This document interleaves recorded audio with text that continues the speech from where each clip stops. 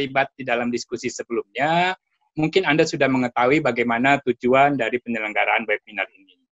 Sedangkan untuk rekan-rekan yang baru pertama kali terlibat, saya akan singgung sedikit bahwa kegiatan webinar jalur rempah ini adalah bagian dari upaya yang dilakukan Kemendikbud, utamanya Direktorat Jenderal Kebudayaan dan Direktorat Pengembangan dan Pemanfaatan Kebudayaan untuk kembali mengang mengangkat jalur rempah sebagai warisan kebudayaan kita yang diharapkan dalam beberapa tahun ke depan dapat diakui dunia atau UNESCO sebagai warisan dunia. Upaya ini telah melibatkan berbagai uh, partisipasi dari beragam stakeholders, baik pemerintahan di tingkat pusat, di daerah, termasuk juga dari kalangan swasta, akademisi di Indonesia dan luar Indonesia, seniman dan budayawan, termasuk juga nanti berbagai masa, anggota masyarakat yang memiliki inisiatif yang terkait langsung dengan tema utama jalur rempah. Dalam kaitan ini, kegiatan webinar jalur rempah adalah bagian dari upaya memperkaya rangkaian pengetahuan yang kita coba bangun di dalam uh, tema tentang jalur rempah ini, sekaligus juga sebagai media untuk penyebaran atau diseminasi pengetahuan di masyarakat luas. Uh, Oke, dalam dua tema terdahulu kita sudah bicara tentang jalur rempah sebagai media diplomasi kebudayaan. Lalu kita juga bicara tentang uh, pengetahuan medis terkait rempah-rempah di Indonesia. Nah, sore ini kita akan bicara tentang bagaimana rempah-rempah juga turut membentuk kebudayaan dan peradaban kita, khususnya diwakili dalam wujud makanan. Tadi sempat ngobrol-ngobrol menarik dengan Pak uh, William Wongso pembahasan seperti ini uh, bakal lebih menarik kayaknya ya. Kita akan bergoyang lidah dengan rempah-rempah sambil menunggu berbuka puasa. Secara imajiner kita bergoyang lidah ya. Nah, untuk itu telah hadir bersama kita dua tokoh terkemuka di bidang kuliner dan pengetahuan sejarah makanan. Pertama adalah Bung Fadli Rahman. Selamat sore Bung Fadli. Sore Bang Andi. Pak William uh, Beliau, beliau adalah dosen dan sejarawan yang secara khusus mengembangkan kajian terhadap sejarah makanan, buku terbarunya Jejak Rasa Nusantara menjadi salah satu sumbangan yang diberikan Bung Fadli terhadap perkembangan pengetahuan ini. Lalu pembicara kedua, saya sepertinya sudah tidak perlu ya mengenalkan lebih lanjut. Beliau adalah Bapak William Wongso, legenda sebenarnya, bukan lagi tokoh, udah legenda dalam dunia kuliner Indonesia. Bukunya berjudul The Flavor of Indonesia, itu memberikan kepada kita bukan saja jenis masakan dan resepnya ya, tapi juga beliau memberikan pengetahuan yang menarik dalam jenis-jenis masakan tersebut, khususnya dengan persinggungan dalam kebudayaan masyarakat. Selamat sore uh, Pak William Wongso, senang sekali uh, Bapak bisa bergabung dengan kami sore ini. Selamat sore. Oke, sebelum kita memulai, saya ingin memberikan uh, pengumuman terlebih dahulu kepada peserta webinar ini. Pertama, kegiatan ini juga disiarkan secara live dengan uh, YouTube channel Budaya Saya. Jadi uh, setelah acara ini selesai masih bisa diikuti di dalam channel tersebut. Itu satu. Kedua juga kita telah memperluas kuota yang tadinya 100 ya menjadi 500 karena banyak keluhan orang tidak bisa masuk dan sebagainya. Jadi uh, kita coba perluas dengan sekarang dan uh, saya mohon maaf bila ada rekan-rekan yang sebelumnya terhambat untuk uh, ikut berpartisipasi dalam kegiatan webinar ini. Terakhir, nanti kami juga akan mengundang Uh, kemudian nanti dari peserta juga ada tersedia e-sertifikat yang akan diproses oleh panitia. Nanti bisa menghubungi langsung panitia. Lalu Bung Ausop nanti sebagai admin akan menyediakan informasinya. Jadi mohon tidak mengisi memenuhi kolom chat dan Q&A uh, dengan permintaan terkait sertifikat ya. Uh, data keterlibatan Anda sudah ada di dalam sistem, nanti bisa komunikasi di dalam, melalui email. Terakhir nanti kami juga akan mengundang peserta dalam diskusi setelah uh, Bung Padli dan Pak William Wongso ini menyampaikan kita ngobrol-ngobrol, berbicara pandangannya. Uh, jadi saya saya rasa saya tidak akan berpanjang lebar terlebih lama ya. Saya akan mempersilahkan masing-masing bisa menyampaikan pandangannya. Pertama-tama mungkin sebagai pembuka dari Bung Padli sebagai sejarawan untuk bisa memberikan pandang uh, pemaparannya sedikit. Bung Padi ada PowerPoint atau ada PowerPoint? Ya, saya sudah okay, siap PowerPoint. Ya.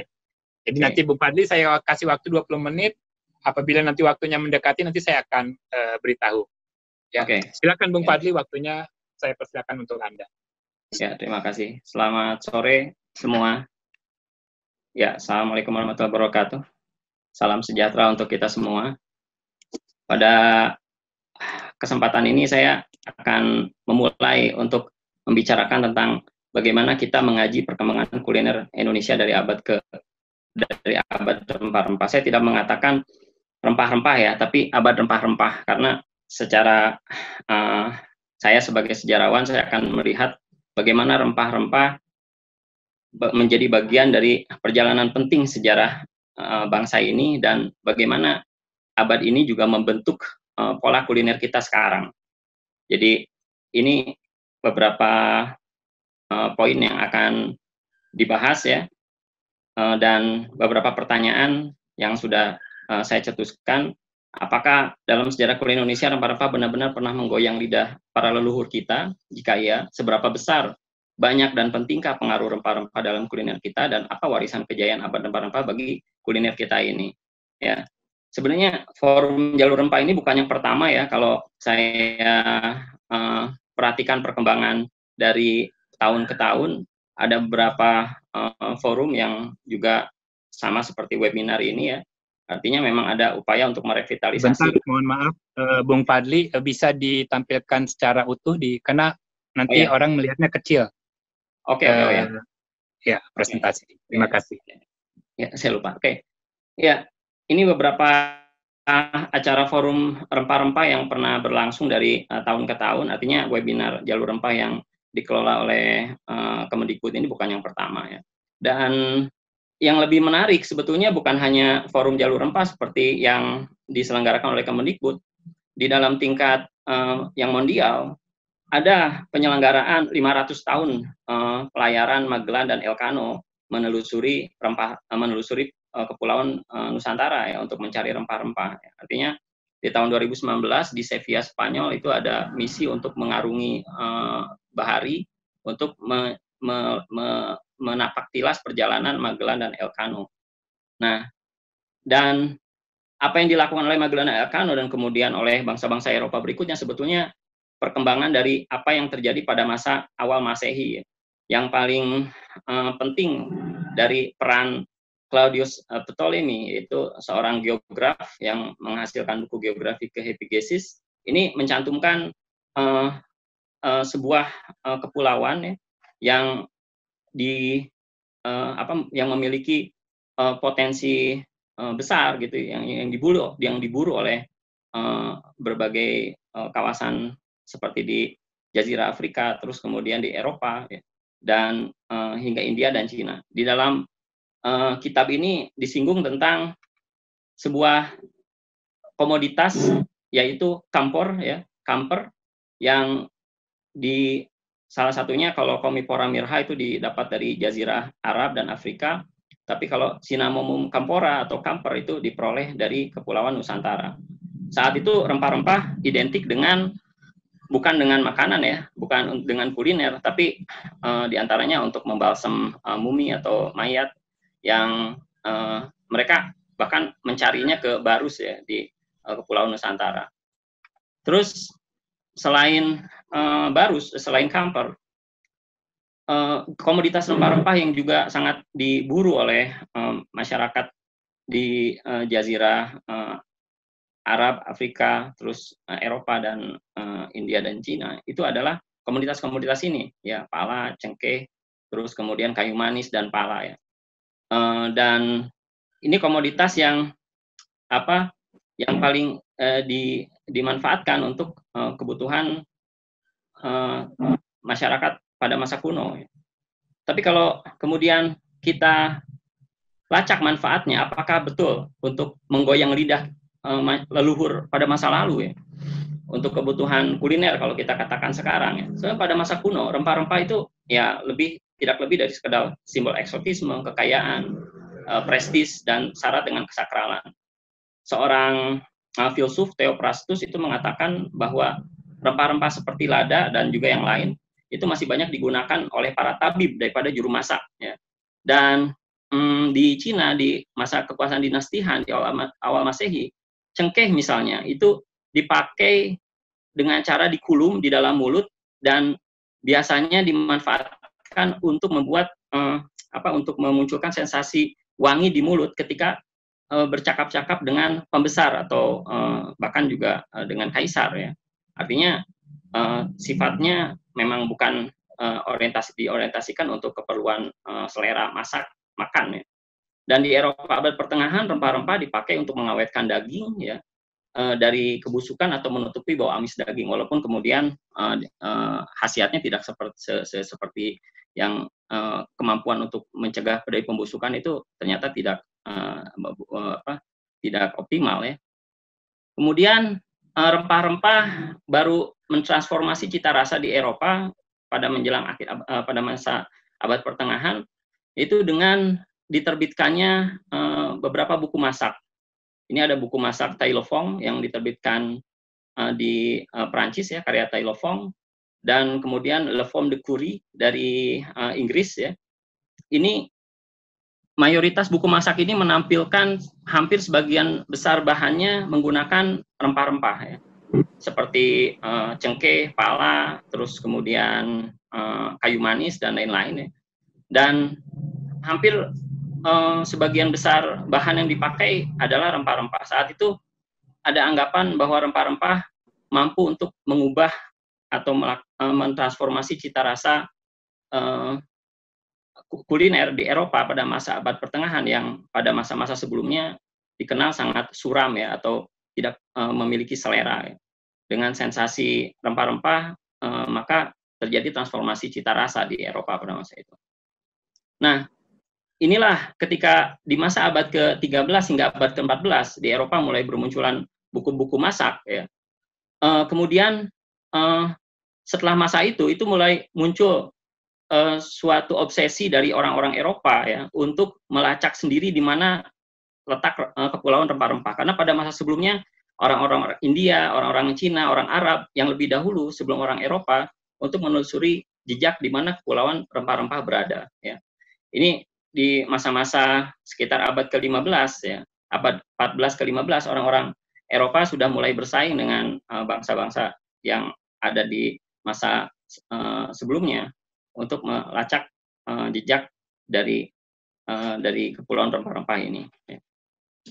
Kita ya kalau kemudian kita uh, melacak catatan awal dari orang-orang Eropa yang datang ke uh, Nusantara ini ada catatan dari Marco Polo ya.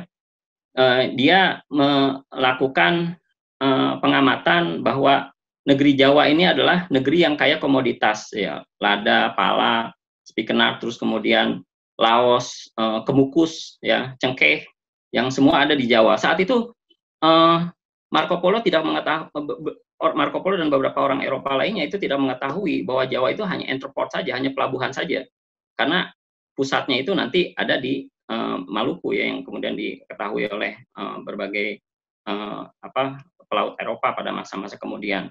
Di dalam catatan Tome Pires dari abad ke-15 itu ada catatan uh, bagaimana orang-orang Melayu, para pedagang Melayu itu mengabarkan kepada orang Eropa, termasuk Pires, bahwa uh, letak dari uh, apa rempah-rempah ya, itu ada di kawasan timur Indonesia ya. Artinya memang ada mulai pelacakan dari orang Eropa untuk uh, menelusuri uh, letak rempah-rempah itu di masa peralihan abad ke-15 hingga abad ke-16 ya. Nah, kalau kemudian kita telusuri bagaimana pemanfaatan Eh, rempah-rempah uh, di dalam konteks kuliner Indonesia pada masa lalu, kita bisa melacak dari prasasti atau naskah yang uh, sebagian besar terletak di Jawa ya. Misalnya yang dari uh, penelitian Hedy Hinsler ya dalam makanan dan minuman di Jawa kuno, ini ada beberapa relief candi yang menunjukkan uh, kemahiran dalam seni boga. Kemudian jenis rempah apa yang dipakai ya? Kalau kita mengkonotasikan rempah itu dengan uh, cengkeh, dengan uh, pala, ya, yang ada di kawasan timur. Sebetulnya jenis rempah itu banyak. Nanti Pak William mungkin akan lebih detail ya, menyinggung bahwa rempah itu uh, terdiri dari berbagai uh, jenis uh, yang ada dalam tumbuhan seperti buah, terus kemudian akar, uh, batang, ya, daun.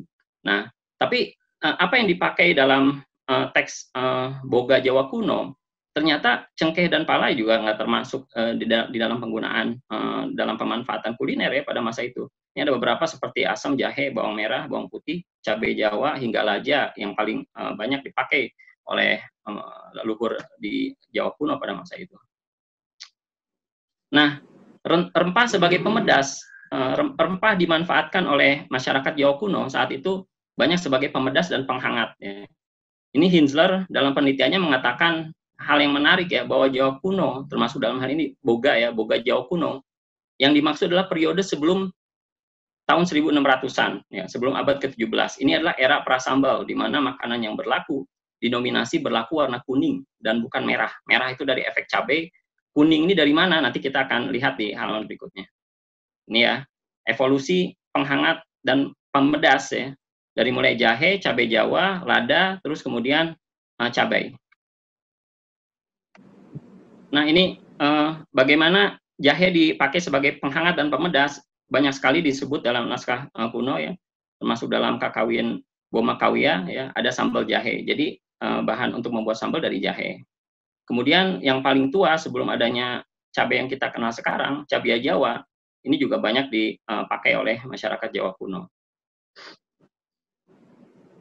Lada yang kita sering gunakan itu bukan tanaman endemik kita asalnya, tapi uh, diintroduksi dari India, berasal dari daerah Ghats India yang kemudian disebarluaskan ke berbagai penjuru uh, Asia Tenggara. Nah, baru kemudian di abad ke-16 yang dikatakan oleh Hinsler tadi itu memang terbukti bahwa kapsikum atau jenis cabai-cabean yang kita kenal sekarang ini memang diintroduksi dari benua Amerika oleh para pelaut Spanyol dan Portugis yang hal yang menarik dalam hasanah kuliner kita yang saya temukan uh, adalah uh, apa ap, rempah sebagai pemedas dalam naskah masa kuno Bali Dharma Caruban ya.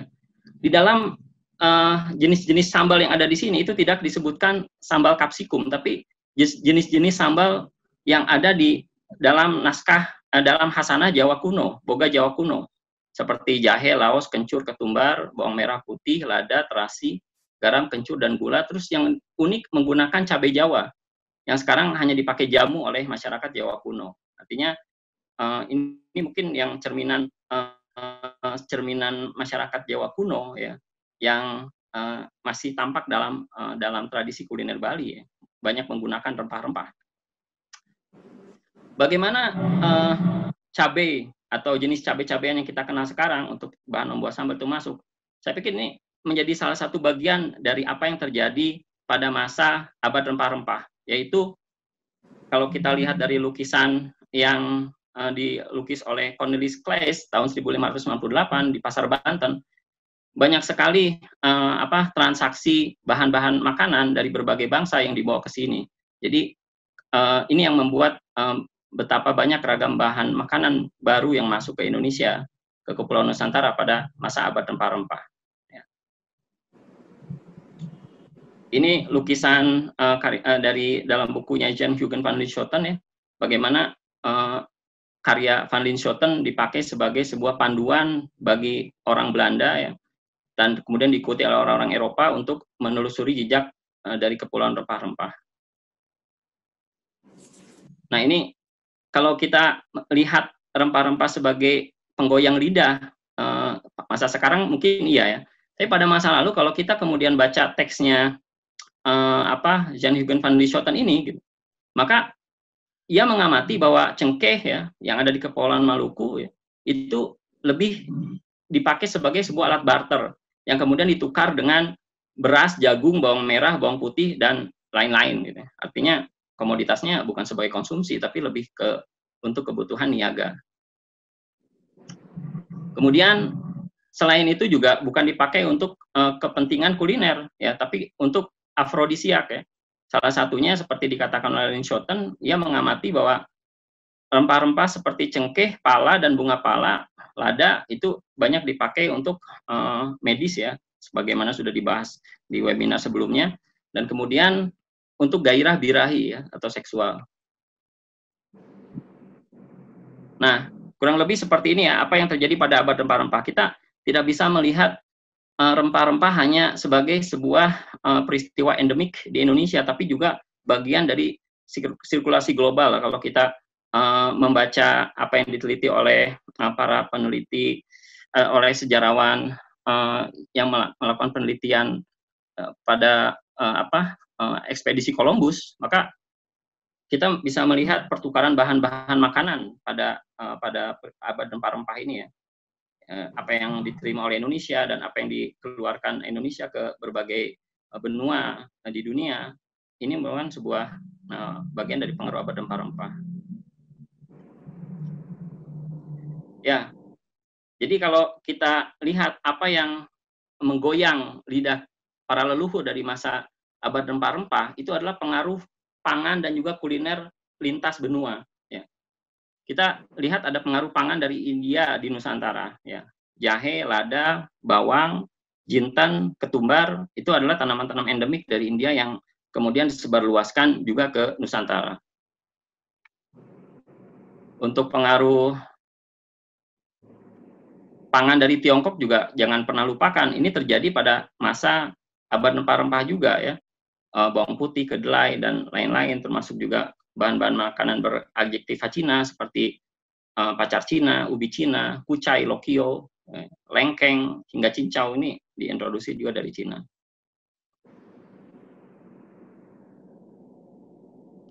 Pengaruh pangan dari Eropa juga berlangsung pada masa abad rempah-rempah. Ya, jika kita uh, memeriksa kembali uh, sejarah hubungan kita dengan bangsa Spanyol dan Portugis, mereka juga mengintrodusir jagung, singkong, cabai, buncis, terong, nenas, ya, dan berbagai macam jenis buah. Jika kita membuka serat centini, maka ada berbagai jenis buah dan buah sayur, ya seperti walu, lubi, bit, uh, paterselis, lada, terong, kentang, yang notabene dibawa dari Eropa oleh para pelaut Spanyol dan Portugis pada masa abad ke-16 hingga 17. Artinya eh, tanaman-tanaman endemik dari benua Amerika ini berhasil ditanam dengan sukses di eh, Nusantara. Nah, dalam uh, pengaruh kuliner dari Eropa, kita bisa saksikan ya, termasuk juga uh, pengaruh mereka datang ke Nusantara itu mendorong pembudidayaan ternak dan konsumsi sumber makanan hewani. Ya. Kalau kita membaca riset seperti yang dilakukan oleh Anthony Reid, sangat rendah uh, konsumsi protein hewani, tapi ketika kedatangan orang Eropa, uh, tingkat konsumsinya itu semakin tinggi, termasuk seiring dengan pembudidayaan uh, hewan ternak. Termasuk juga teknik-teknik pengolahan ala Portugis, ya, seperti memanggang, mencampur daging dengan bahan bumbu, merebus, dan mengukus. Ya. Dalam penelitian sejarawan Portugis, sejarawan Portugal, uh, Boalo ia mengatakan bahwa uh, sangat mungkin teknik-teknik ini juga meresap ke dalam tradisi rendang di Sumatera Barat ya karena sifat awetannya sama dengan apa dengan sifat awetan yang ada dalam kuliner Portugis pada masa masa lalu. Tapi jangan kecil hati ya bahwa rempah rempah-rempah itu tidak menggoyang lidah kita ya. Uh, seiring dengan jelang buka puasa kita dihadirkan pada dan juga jelang Idul Fitri nanti kue-kue yang menggunakan rempah-rempah. Jadi orang-orang Belanda, ya, termasuk juga para misionaris yang datang ke Kepulauan Timur, ini memanfaatkan rempah-rempah untuk kebutuhan selera mereka. Sehingga kita mengenal ada spekuk, ya. Terus kemudian di Belanda uh, spekulas dan juga on cook, uh, termasuk uh, nastar yang saban lebaran itu sering kali uh, ada yang masih menggunakan apa uh, cengkeh gitu untuk pemanisnya. Ini merupakan sensasi-sensasi dari dari uh, apa da, dari bagaimana pemanfaatan rempah-rempah terkait dengan uh, dengan pengaruh kuliner Eropa ya yang sampai sekarang bahkan menjadi sharing uh, cuisines antara Belanda dengan Indonesia. Di Belanda ada, di Indonesia juga ada. Gitu. Tapi kalau kita bicara soal akhir kejayaan rempah-rempah, ya ini uh, sesi apa slide-slide terakhir uh, kejayaan rempah-rempah itu berakhir pada abad akhir abad ke-18 ya. Seiring dengan bangkrutnya VOC ya. Uh, Belanda uh, di peralihan ke abad ke-19 itu mulai mengubah orientasi politik ekonomi niaganya bukan lagi ke rempah-rempah, tapi tanaman komoditas seperti kopi, teh, dan tembakau. Kalau uh, melihat apa yang terjadi dari masa transisi abad ke-18 ke 19 ya, apa yang pernah diamati oleh Rainward ya dengan mengutus utusannya ke Kepulauan Banda, Banda dan Kepulauan Maluku itu terbengkalai atau dibengkalaikan begitu saja oleh Belanda gitu.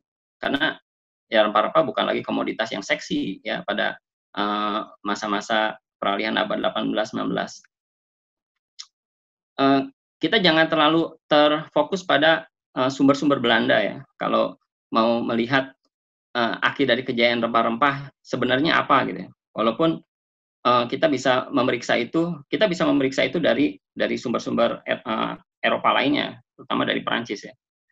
Uh, ini ada sebuah komentar dari Henri Alexandre Tessier, seorang ilmuwan botanis dari dari Perancis yang mengatakan bahwa dia sangat heran dengan sikap Belanda yang uh, sangat rakus ya memanfaatkan cengkeh dan merusak uh, lingkungan dengan membakar uh, rempah-rempah ya, seperti cengkeh dan pala supaya tidak memberikan keuntungan bagi bangsa lain. Sedangkan Perancis saat itu ya, melakukan ekspedisi penelusuran rempah-rempah untuk kepentingan saintifik, bukan hanya untuk kepentingan niaga. Artinya beda orientasi antara Belanda dengan negara-negara jajahan lain saat dengan negara-negara koloni lain seperti Perancis saat itu itu memang menunjukkan bahwa ada salah kelola ya, dalam pembud dalam uh, dalam niaga rempah-rempah yang kemudian mem mem membengkalaikan uh, kepulauan Maluku gitu sebagai sur uh, sebagai surga rempah-rempah yang dulu diburu oleh berbagai bangsa gitu. Sehingga kita bisa melihat ya bagaimana narasi antara teks uh, sumber Belanda dengan uh, sumber seperti dari Perancis ini yang uh, melihat akhir dari kejayaan rempah-rempah di Nusantara.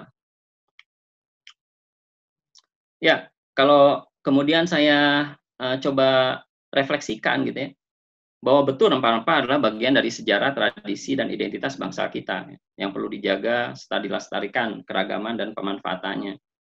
Dan hal itu sangat mungkin dilakukan dengan melakukan diseminasi pengetahuan, rempah-rempah melalui wahana edukasi seperti museum, pameran, seminar, dan diskusi.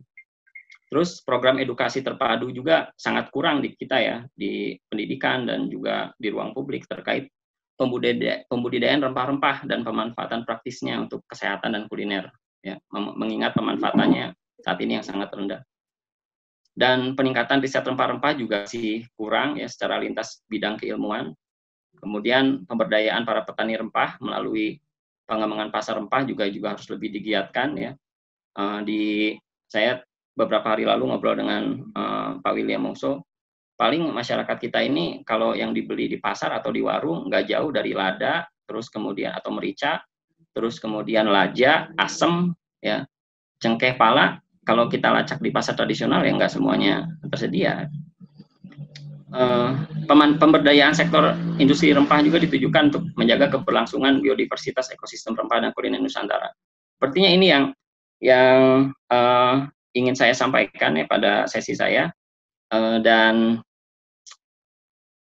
mungkin Pak William akan lebih uh, mendalam gitu untuk membahas dari aspek uh, kulinernya.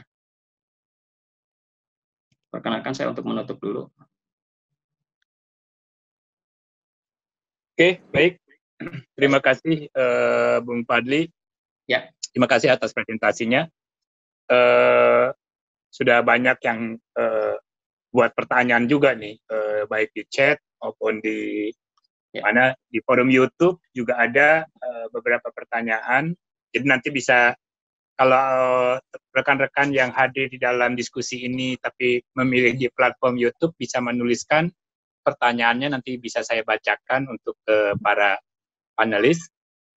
Uh, juga di sini ada sekitar 200 lebih peserta, jadi ini luar biasa bahwa kalau kita bayangkan di ruangan besar berarti sangat besar sekali sebenarnya, uh, cukup besar untuk satu diskusi ini. Nah, oke, okay, uh, sekarang kita saya mau berbicara atau menyampaikan uh, topik yang terkait dengan tema kedua kita itu dari Pak William Wongso.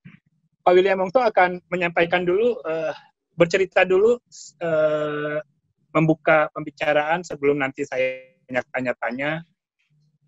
Silakan uh, ya, terima kasih Pak. Bu Adri dan teman-teman sekalian. Begini, memang kalau saya lihat judul dari uh, webinar Jarur Rempah, apa itu? Judulnya Jarur Rempah, terus sub tagline-nya menggoyang lidah dengan rempah-rempah. Rempah-rempah dalam tradisi kuliner Indonesia. Tadi udah eh, apa yang dijelaskan dalam sejarah rempah kita Indonesia, Indonesia ternama rempahnya itu karena merupakan komoditi. Dalam program jarum rempah ini kita harus pertegas dulu yang diutamakan aspek apanya? Sejarahnya, perdagangan dan eh, komoditas dan perdagangan, atau kuliner Indonesia yang menggunakan rempah-rempah. Uh, saya mau bahas sedikit mengenai apa yang saya tahu kebetulan saya sebagai pelaku kuliner. Kalau saya telusurin rempah-rempah uh, rem, apa itu uh, kuliner Indonesia itu terjadi gradasi dari kita ambil dari Sumatera sampai ke Indonesia Timur.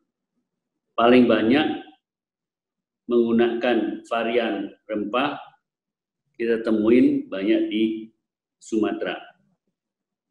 Terus itu mulai memudar sampai ke Indonesia Timur di mana tempat cikal bakar rempah di sana aplikasi rempah itu sangat minim. Kalau kita melihat pengaruh rempah-rempah dalam kuliner Indonesia secara keseluruhan, persentasi penggunaan rempah di kuliner Indonesia itu porsinya kecil. Indonesia itu makanya sering-sering dalam forum internasional pun saya pertegas Indonesia itu umumnya semua bahasa Inggris semua itu spices. Padahal spices itu dibagi dua, yaitu dry spices, yaitu cengkeh, kayu manis, uh, pala, jinten, lada, lada hitam, dan lain sebagainya. Spice base itu yang umum dipakai, porsi paling besar dipakai dalam uh, bumbu-bumbu Indonesia itu adalah bumbu sedar, bumbu-bumbu segar, uh, cabai, bawang merah, bawang putih, kemiri, empon-empon yaitu jahe, lengkuas, kencur, dan ditambah lagi aromatik yaitu serai, eh, eh, daun salam, daun jeruk, dan mungkin ada yang kecombrang dan lain sebagainya. Nah ini memang tujuan eh, webinar ini harus dipergas dulu. Maunya diambil dari mana? Sebagai contoh, kita itu sampai sekarang kalau kita mengenai rempah, dalam pendidikan pun yang dikatakan Indonesia itu cikal bakar perdagangan sejarah perdagangan rempah yang begitu kuat, tapi dalam pendidikan pengenalan rempah hanya dikenal sebatas cengkeh, lada, garam, ketumbar jinten misalnya. Dan di luar itu tidak di, pernah dijabarkan kualitas. Seperti apa yang terjadi sekarang dengan uh, dengan kopi, di mana kopi itu dulu semua adalah kopi, tapi sekarang udah beda. Penekanan, karena apa? Maraknya kafe-kafe, maraknya profesi barista, maraknya profesi roaster, dan sebagainya. Sehingga itu terjadi peningkatan kualitas dari mulai dari petani kopi karena permintaan daripada pelaku-pelaku kopi dari bukan bukan trading, tapi user. Boleh end user, boleh dipakai oleh kafe-kafe. Sehingga pengenalan ironi banget pengenalan kita kalau mau minta sesuatu cuman mintanya lada ya beli aja pala beli aja lada dan tidak pernah dicek kualitasnya jadi dalam sosialisasi, sosialisasi itu kita sangat minim Terus sekali lagi saya sebutkan aplikasi rempah dalam kuliner Indonesia kecil sekali. Indonesia lebih menggunakan bumbu segar yang sebab tadi saya sebutkan tadi. Kuliner Sumatera lebih kita temuin penggunaan rempah. Kenapa? Karena trading mungkin eh, bisa dikoreksi dengan Bung Fadli, trading pertukaran budaya dan Sriwijaya dan lain sebagainya itu sangat kental terber, berlangsung di di Sumatera. Ya. Saya selalu mengambil satu contoh di mana nanti secara sejarah bisa diteliti. Ada satu masakan yaitu nasi minyak batang hari di Jambi. Keunikan nasi minyak ini bukan seperti nasi minyak yang lain. Nasi minyak lain itu bisa nasi uduk juga termasuk nasi minyak, nasi kebuli, nasi jenis nasi minyak, e, nasi liwet juga jenis nasi minyak. Tapi di sini penggunaan rempahnya sangat unik. Saya kasih contoh. Mereka dalam satu jenis nasi minyak ini menggunakan sekitar 12 jenis rempah 12 jenis rempah. Dan rempah itu tidak dijadikan bubuk, bubuk seperti kalau India garam marsala atau di Chinese dengan goyang atau di Bali dengan wangen. Tapi di sini rempah-rempah utuh yang direbus dibuat teh rempah yang digunakan untuk membuat nasi. Plus, yang lebih unik lagi, bukan rempah saja yang dipakai, tapi ada tambahan-tambahan kondimen yang tampak bukan asli Indonesia.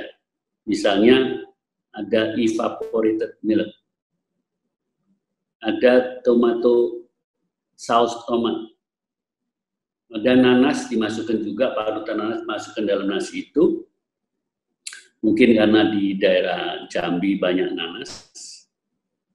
Plus ditambah lagi minyak samin.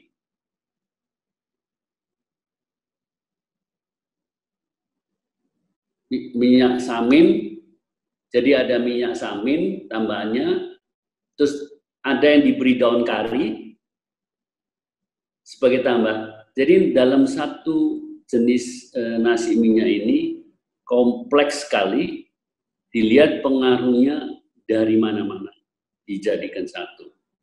Itu juga perlu diselidikin sejarah asal-usulnya, kenapa seperti itu. Saya sebagai pelaku kuliner, saya itu selalu mempertanyakan. Itu bukti bahwa ada ada tempat-tempat tertentu, dan itu tidak terjadi di Jawa, tidak terjadi di di tempat lain, tapi terjadi di Sumatera. Kenapa terjadi? adanya di Batanghari, bukan di Padang. Itu salah satu contoh. Di luar itu mereka pakai bumbu halus yang umum seperti bawang putih, jahe itu seperti yang dipakai di di umum. Ada bawang putih, ada jahe yang di, di, dimasukkan. Terus uh,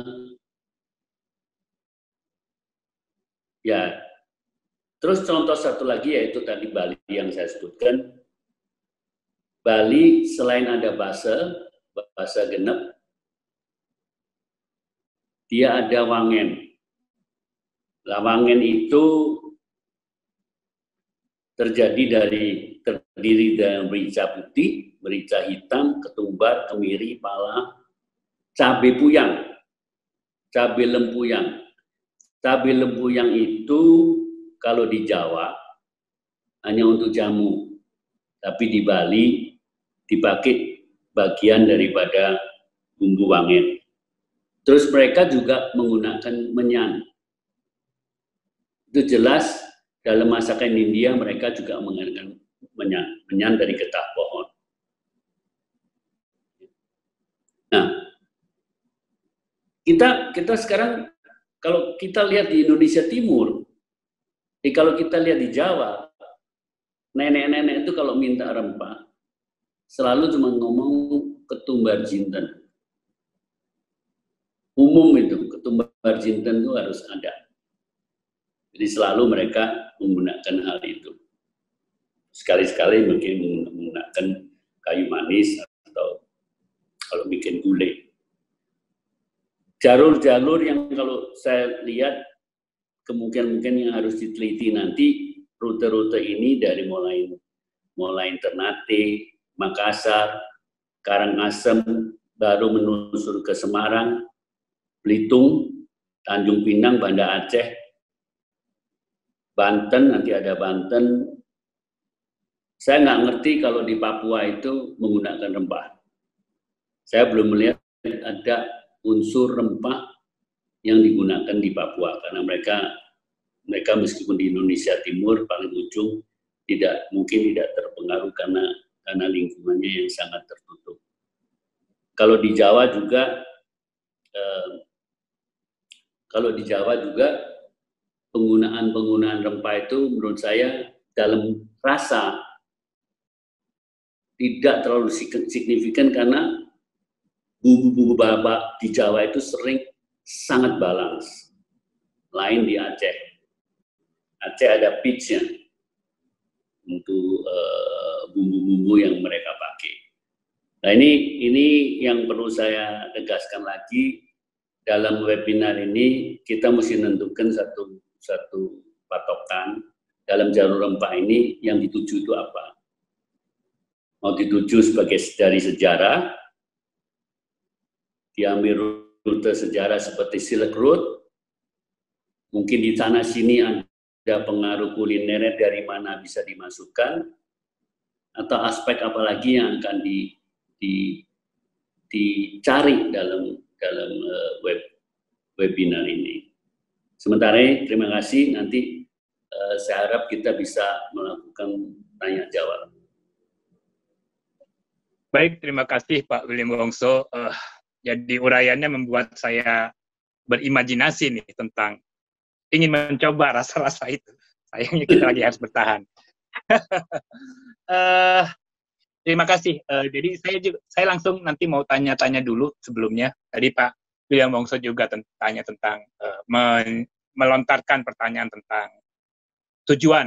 Sebenarnya kalau di secara jalur uh, secara garis besar jalur rempah ini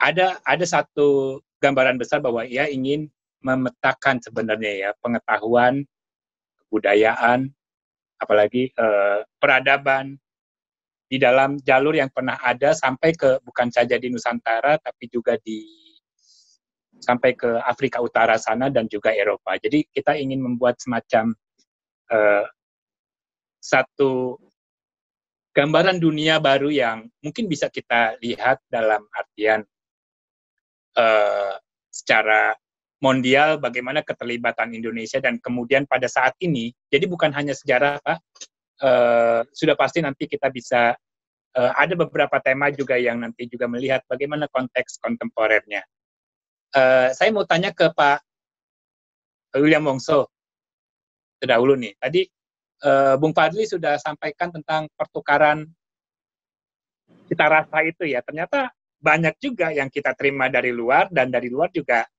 menyerap juga. Jadi eh, saya pengen tahu ya eh, bahwa jalur rempah ini kan bukan sekedar pelayaran atau perdagangan komoditi rempah. Yang terjadi adalah persoalan pertukaran kebudayaan. Dan dalam dunia kuliner, bagaimana sih makanan Indonesia menjadi bagian dari pertukaran kebudayaan tersebut dan bagaimana proses pertukaran cita rasa itu terjadi ya. Jadi tadi seperti disinggung sempat disinggung sama Bung Padli. Gimana Pak William Bongso? Saya pengen tahu apa yang terjadi di makanan kita dengan pertukaran kebudayaan. di dalam jalur rempah itu. Bung Fadri banyak lebih tahu soal sejarah. Tapi kalau kita telusurin tentang sejarah kuliner di Indonesia itu banyak katanya. Katanya hanya umumnya dikatakan hmm. tidak ada bukti yang konkret bahwa itu kan sekarang contohnya sampai sekarang katanya, ya. rendang itu datangnya dari mana? Nah, kalau saya ditanyain begitu, saya tahu bahwa itu cikal bakal ada di Sumatera Barat. Tapi saya coba menjelaskan dari segi persepsi kuliner, bahwa makanan itu sering terjadi karena hmm. kebetulan. Kebetulannya bagaimana? Di sana tidak ada kulkas dulu. Mungkin waktu itu hanya bikin semacam gulai. Tidak dipanaskan untuk besok, dipanaskan untuk besoknya. Setelah 4-5 hari, terus terjadi mengental, menghitam, kok mereka mengatakan rasanya istimewa. Tapi ini pun tidak ada dalam catatan sejarah. Tapi di, di Padang saja, kalau kita lihat di Sumatera Barat, lebih dari 200 jenis resep. Ada resep, kalau kita lihat banyak resep eh, komposisi bumbu di Sumatera Barat itu mungkin tidak menggunakan rempah sama sekali tapi kita temuin juga rempah hmm. ada yang dipakai di uh, di sate padang misalnya, namanya kelebek. Kelebek itu kalau ditranslate adalah fenugreek. Fenugreek itu adanya di dari India, dari Rajasthan. Terus di Padang sekali-sekali mereka hmm. pakai semacam poppy seed, lupa saya namanya kari-kari atau apa itu juga bukan dari Indonesia. Di, di Eropa Timur, di seperti Bratislava itu ada ladang tanaman candu. Hanya diambil bijinya untuk di bagian daripada bahan diolah untuk masak dan kue, tapi tidak disadap. Ini salah satu contoh. Begitu kita lihat ke ke, ke Malaysia, Malaysia punya rendang itu sama beda. Karena dia do Jawari yang bawa orang Padang ke Malaysia, di sana terjadi kawin silang dengan India. Sehingga banyak bumbu uh, rendang di, di Malaysia itu menggunakan Indian curry. Sehingga profil rasanya hmm. beda sama sekali dibandingkan yang ada di, di, di Sumatera Barat gitu. Nah hal-hal seperti itu Kenapa Aceh lebih menggunakan lebih banyak jenis? Di sana ada persilangan dengan masyarakat Tamil dari Tamil Nadu yang turun. Kalau kita hmm. lihat di Padang yang jualan rempah itu orang dari India Selatan. Begitupun kita temuin di Medan juga yang jual rempah di pasar itu dari India Selatan. Tapi banyak juga dipakainya itu juga tidak semua. Misalnya misalnya eh, makanan Batak ada namanya andaliman atau boleh dianggap itu sejenis secuan pepper itu di pulau di tempat lain tidak ada satupun yang menggunakan. Hmm. Nah ini ini yang nanti makanya harus kita bahas. Kalau kita mau lihat mau nelusuri secara benar, kita lihat jalur rempahnya itu jalur rempah itu dibikin dulu, dari segi sejarah, poin-poinnya dilihat. Nanti di, di, dicocokkan dengan keadaan eh, di setempat gitu. Ini jelas paling banyak menurut saya yang pengalaman saya eh, coba-coba eh, paling banyak menggunakan rempah ya kalau Sumatera mungkin Aceh gitu. Tapi muncul di di mana di Batanghari aplikasi rempahnya beda. Hmm. Direbus rempahnya. Dibuat okay. nasi. Gitu. Nah, ini ini kita harus harus uh, mengatur strateginya, Pak. Iya. Terima kasih. Uh, Bung Fadli tadi Bung Fadli sebut uh, apa namanya abad rempah abad rempah itu apa sih seberapa besar sehingga bisa disebut abad rempah ya. Uh, artinya secara mondial saat itu dalam konteks masa lalu. Ya, istilah abad rempah-rempah ini memang sebuah terminologi yang imajiner ya artinya kita membayangkan sebuah konsep waktu dan ruang ya sama seperti halnya Silk Road ya terus kemudian ada hmm. uh, Spice Route ya itu sebetulnya sebuah terminologi yang imajiner untuk membayangkan tentang apa yang terjadi pada masa lalu dengan uh, me, dengan uh, dengan medium kalau di uh, Silk Road itu sutra ya yang menjadi komoditas andalan tapi kalau melalui jalur laut itu adalah rempah-rempah gitu dan uh, apa uh,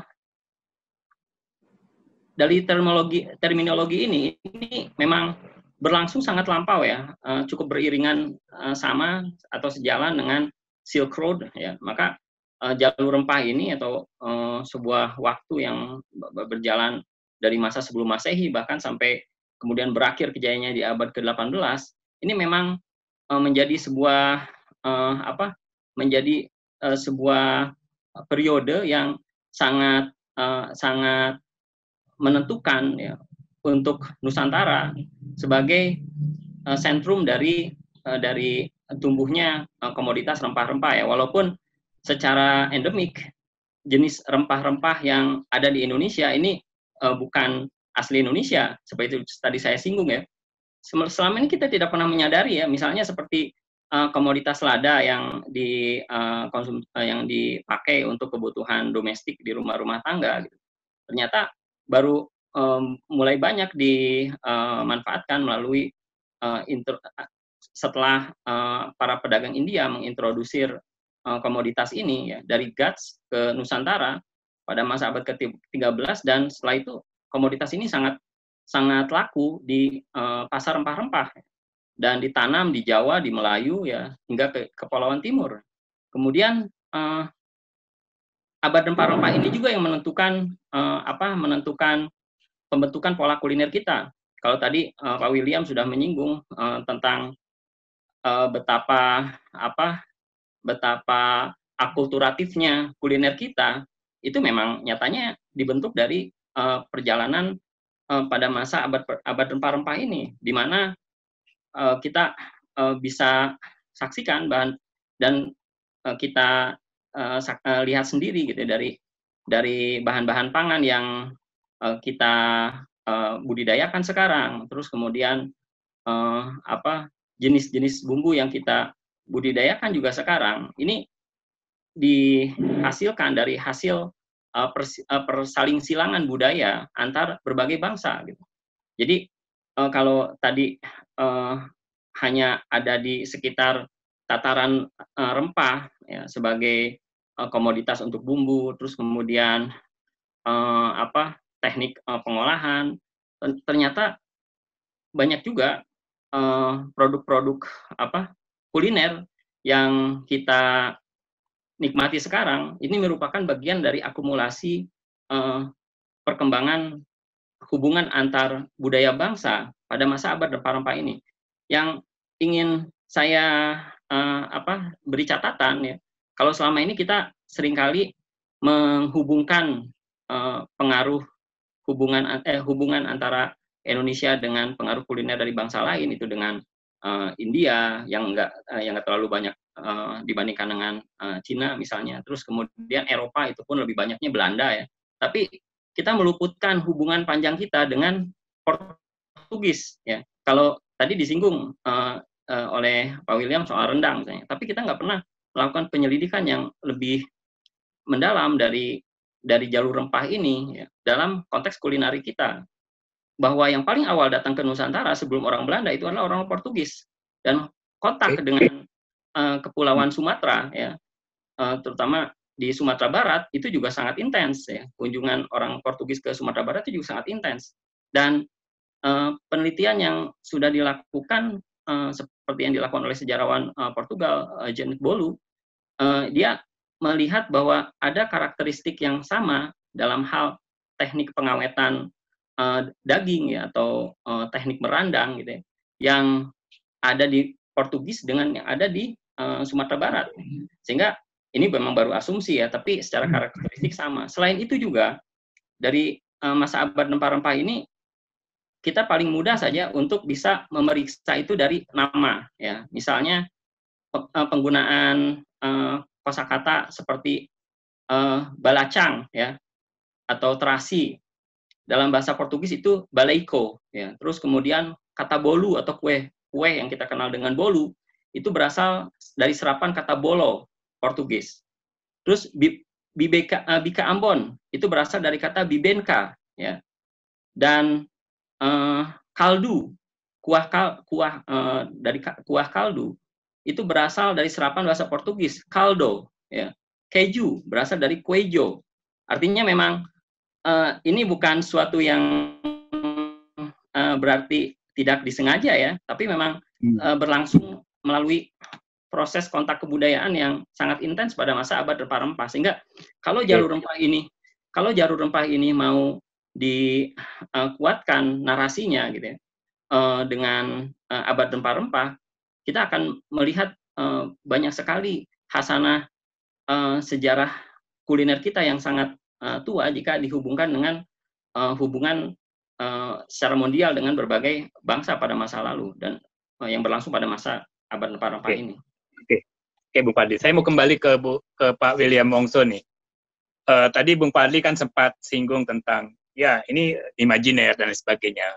Benar bahwa ada sejarah masa lalu dan sekarang kita hidupkan kembali juga untuk melihat sebenarnya satu modalitas ya yang bisa kita gunakan nanti dalam mengenalkan Indonesia di dunia ini membangun peluang-peluang ekonomi, budaya dan sebagainya yang kita coba melalui misalnya dengan jalur rempah ini. Ini yang saya mau tanya uh, andaikan kita uh, apa bekerja bergerak ke arah situ ya, membawa cerita kulinernya. Uh, bagaimana ya kita bisa mengenalkan masakan Indonesia di dunia secara luas lebih intens ya, bandingkan misalnya dengan Thailand, Meksiko, masakan Meksiko atau Italia, di mana-mana orang tahu tentang masakan Italia dan sebagainya. Itu bagaimana peluangnya nih menurut Pak William terkait dengan ini. Jadi maaf Pak, tadi offline bisa diulang Pak. Tadi saya okay. dengar putus. Oke, okay. baik. Jadi uh, tadi disebutkan bahwa ada semacam uh, jalur rempah ini bisa menjadi modalitas kita ya pada saat sekarang, bukan lagi yang dulu. Ini pada saat sekarang ini bisa menjadi satu pintu buat kita untuk mengenalkan kembali Indonesia dan meraih peluang-peluang apa itu ekonomi dan lain sebagainya, termasuk dalam upaya mengenalkan makanan Indonesia di dunia. Peluang itu seperti apa sih Pak uh, Pak William? Saya membayangkan tadi gitu loh. Saya membayangkan Italia around the world orang tahu masakan Italia gitu ya. Uh, masakan lain sebagai Meksiko, Thailand, apalagi Thailand. Kira-kira peluang kita apa nih Pak? Dengan jalur rempah sebagai satu. Ini saya rasa udah lama dibahas. Yang hmm. paling gampang dari misi kementerian juga pernah tanya kenapa rumah makan Indonesia nggak banyak. Ya. Kan nggak usah kita nggak usah sebutkan Thailand, kita nggak usah sebutkan Jepang. Hmm. Kita lakukan dengan Vietnam. Vietnam itu makanannya sudah mendunia. mendunia. Barusan ini kan saya bahas uh, dengan uh, webinar dengan San Francisco. Itu banyak pengusaha rumah makan ada yang sudah 30 tahun baru tutup dengan segala macam alasannya. Saya cuma ngasih begini, saya ngasih suatu pandangan. Secara umum, kenapa kurin satu kuliner satu bangsa itu bisa mendunia? Itu biasanya juga dibawa oleh hmm. migran. Hanya orang bedanya migran Indonesia Indonesia itu tidak pernah terjadi bencana yang besar yang luar biasa dalam bentuk apa pun sehingga masyarakat Indonesia ibaratnya jebol desa pindah ke satu tempat mendirikan perkampungan sendiri. Sebagai contoh hmm. itu terjadi dengan Vietnam tahun 60-an mereka dengan Boat People itu menambah ke seluruh dunia. Saya barusan saya jelaskan di dengan di, waktu di, uh, bisa dengan San Francisco. Saya kasih saya, saya kasih pembanding. Apa pun juga market yang menentukan. Contohnya begini, hmm. di seluruh Amerika, di seluruh Amerika ada kira-kira 130 ribu orang Indonesia, seluruh Amerika di pelosok-pelosok mana-mana. Mungkin konsentrasi paling banyak itu Philadelphia. Terus saya bandingkan dengan kota satu kota kecil di luar San Francisco yang namanya San Jose. Itu satu kota aja sudah 130 ribu penduduk Vietnam. Sehingga waktu berapa tahun lalu wakil wakil wali kota wanita muda wakil orang Vietnam. Tahun berikutnya dia mau race untuk jadi wali kota. Dengan 100 130 ribu penduduk, begitu kita masuk kota San Jose, billboardnya sudah bahasa Vietnam. Hmm. Mallnya karakter Vietnam penuh di situ. Hokernya juga Vietnam. Terus apa yang terjadi? Komoditi, bumbu, apa semua diekspor dari Vietnam ke negara masing-masing. Di Washington itu saya sering ke sana namanya ada Eden Village. Itu satu kompleks atau berapa hektar itu semua Vietnam. Dari teks, salon, food hall, bikin tahu, semuanya Vietnam. Indonesia itu masuk bagian kecil sekali kalau satu ada toko Indonesia yang kecil atau satu waktu komoditi Indonesia tuh yang sering saya temuin uh, Indo Indomie. Mau cari santan aja susah. Hmm. Itu itu salah satu contoh. Kita nggak usah muluk-muluk. Kalau Thailand itu sudah sudah 25 ribu gerai rumah makan di seluruh dunia. Mereka punya komoditi ekspor itu sudah miliaran dolar. Kalau ke Belanda, ke Belanda aja itu satu minggu dulu aja, satu minggu satu jumbo kargo itu bawa makanan tok. Landing di hmm. Amsterdam terus dikirim ke mana-mana. Saya pernah pernah membahas hal ini. Bagaimana kalau dalam situasi ini? Yang kita harus perkenalkan itu sekarang begini loh Pak. Ada satu artikel yang bagus New York Times tahun lalu yang mengatakan hegemoni cita rasa Barat itu udah mulai hmm. mudah. Karena orang-orang Barat yang biasanya ratusan tahun makan itu, terus itu dia nerimo. Pada saat sosial media begini marah, dia ngelihat melihat gambar makanan dari seluruh hmm. dunia, meceng semua di Instagram, mereka ngiler. Mereka mau cari tahu. Sehingga sekarang itu di mana-mana bermunculan service local tour, local culinary tour. Ah. P kalau dulu orang Amerika sampai satu kota yang dia cari hamburger di mana. Sekarang dia tanya where is the local authentic food. Hmm. Dia kami coba saya pernah mengatakan, kalau kita mikirin terus mau buka restoran dengan dana apa pun, nggak akan bangkrut terus, akan nombok terus, akan habis terus dananya. Kenapa kita nggak mikirkan, kita invasi bumbu jadi, dan kita mengajarkan mereka aplikasinya, supaya mereka mendapatkan suatu nuansa baru, profil baru dalam kita tuh tidak mungkin mengajar orang non Indonesia masak-masak Indonesia sehari-hari. Nggak mungkin. Tapi kalau hmm. kita mencari peluang, mengajarin mereka pola masak supnya mereka yang basic, dicemplungin bumbu soto ayam. Hmm. Gak ada effort. Beli di mana? Ekspor bumbu soto ayam bukan saja dikenal oleh orang Indonesia yang di mana-mana, tapi termasuk bisa dilakukan di Prancis. Dia kan sering bikin. Ya, menarik ya. Hmm. Itu contohnya misalnya di Afrika. Hmm. Saya bicara dengan Pak, anu, Pak, Pak Dubes waktu saya makin promosi sana. Di Afrika kita harus fokus, nggak bisa kita cuma bawa makanan Indonesia. This is Indonesian food. Kesannya nggak ada. Begitu dia coba, oh nice. Where is Indonesian restaurant? Nggak ada. Saya coba melakukan, saya hmm. menggunakan hmm. segala macam protein lokal. Protein lokal di sana itu apa? Binatang liar, Pak. Hmm. Saya hanya minta give me game meat, binatang liar di Afrika. Dikasih ada 7-8 macam. Saya olah dengan nama masing-masing, saya olah sendiri-sendiri bisa bisa elang, rendang, elang sate, weather sate, hmm. atau rawon dan lain sebagainya. Hmm. Mereka begitu dengar namanya, mereka langsung familiar, tapi dia dapat satu profil baru. Tapi kan harus ditunjang. Ya. Itu satu contoh. Dua, salah satu contoh yang kita nggak bisa langsung gebar ura ke seluruh dunia. Ekuador.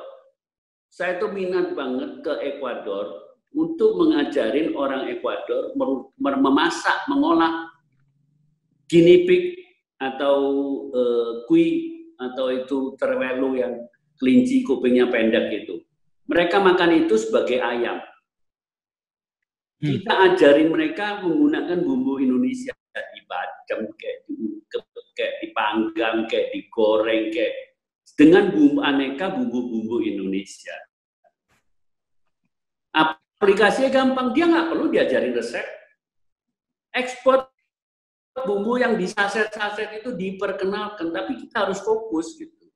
Dari situ mereka akan kenal oh taste of Indonesia. Siapa tahu pada kemudian step keduanya baru bisa mendirikan rumah makan tentu. Saya ditanya kemarin di San Francisco, apa sih pola apa sih kalau mau dirikan restoran? Saya bilang gini aja, kita realistik. Kenapa banyak orang Indonesia di Amerika semua buka restoran, tapi bukan di Indonesia. Dia beli franchise sushi, tempatnya kecil sushi, semua ada di supply. Hmm. Ikannya di supply, bumbunya di supply, paling dilatih tenaga untuk handle. Dan harganya yang mediocre.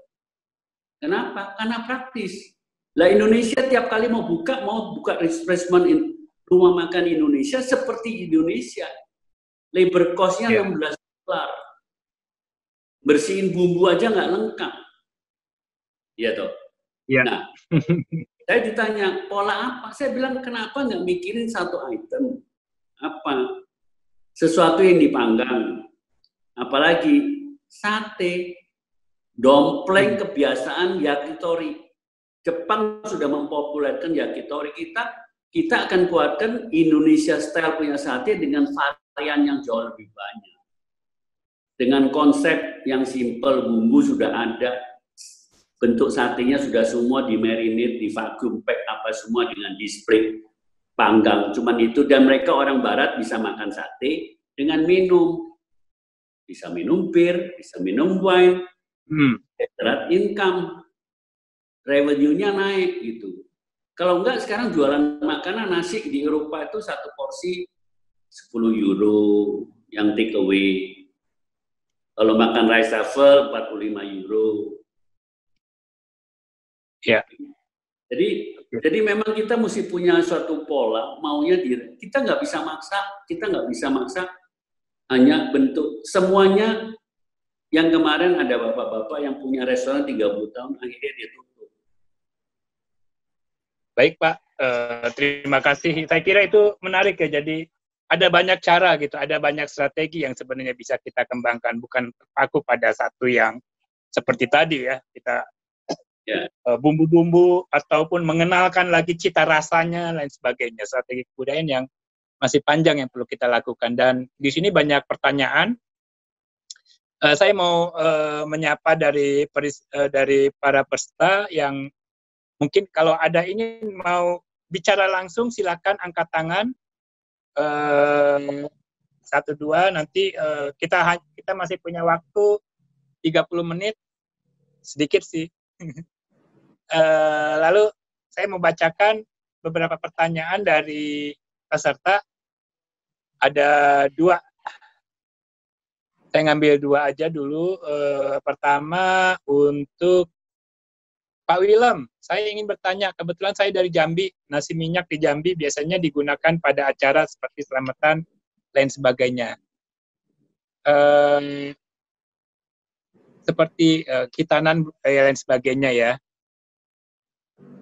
Ini titik komanya nggak jelas di mana ini. Mengapa tidak di daerah jalur perdagangan rempah lainnya? Kalau rendang ada di Sumbar, bisa jadi karena alamnya. Bagaimana cara memunculkan nasi minyak permukaan kuliner layak kebuli? Wah, ini terlalu teknis ya, Pak ya?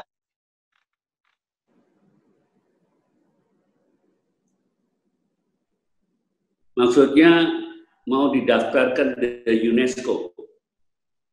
Yang mana? Yang jalur rempah? Ya. Nggak tahu, itu tadi Anda sebutkan soal... Bukan, bukan. Ini, ini pertanyaan ini uh, sangat teknis. Nanti uh, ini pertanyaan bisa dicampurkan uh, dua ya, uh, dari Widya Putri, sejarah UNJ, saya ingin bertanya, mengapa dapat terjadi silang budaya dalam kuliner Indonesia di masa silam dalam penggunaan rempah? Apa hanya sebatas interaksi akulturasi dan asimilasi? Lalu sejak kapan terjadinya saling silang budaya dalam kuliner Indonesia? Terima kasih. Mungkin Bung Padli gimana Bung Padli? Ya, tadi semuanya sudah saya singgung ya, Bang Ade ya, terkait mm -hmm. dengan uh, saling silang budaya dalam pembentukan pola kuliner kita, gitu ya, bahwa yang namanya akulturasi dan asimilasi antar bangsa Indonesia eh, masyarakat Nusantara pada masa lalu dengan dengan berbagai bangsa yaitu sudah apa sudah sebuah narasi yang sangat sangat umum ya yang menunjukkan bahwa apa yang dikonsumsi eh, apa yang dipraktekkan dalam uh, budaya kuliner kita sekarang terus kemudian apa yang menjadi bagian dari seni kuliner kita sekarang itu sudah uh, embodied jadi jadi uh, bagian dari identitas kita gitu. Tapi uh, kalau saya mau uh, kaitkan dengan dengan sedikit ya dengan tadi apa yang disampaikan oleh oleh Pak William terkait dengan uh, diaspora orang-orang uh, ke luar negeri gitu. Maka kita akan jadi sangat uh, terlihat ya betapa betapa bingung untuk merumuskan uh, merumuskan hasil dari akulturasi dan asimilasi kuliner kita ketika ini dijadikan sebagai sebuah komoditas di uh, di luar negeri.